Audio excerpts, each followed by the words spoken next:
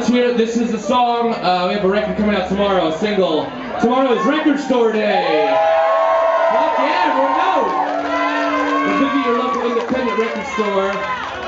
And uh, we have a split record with the Cribs, a 7 inch. Uh, the Cribs are some friends of ours from the UK. Uh, and this is the song on that